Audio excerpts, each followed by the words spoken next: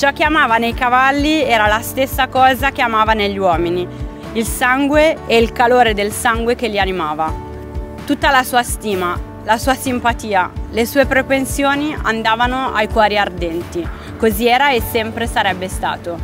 Ai cuori ardenti, Ardent Hearted. Questo è il titolo della mostra che sarà presentata al Meeting 2024, meeting che prende il tema proprio eh, da una frase del grande scrittore americano scomparso nel 2023 e la mostra non vuole essere un percorso didattico tra le opere, la vita di questo scrittore, ma eh, l'invito al visitatore ad imbattersi in uh, un cammino esperienziale alla ricerca eh, del fuoco come il cacciatore dei suoi libri.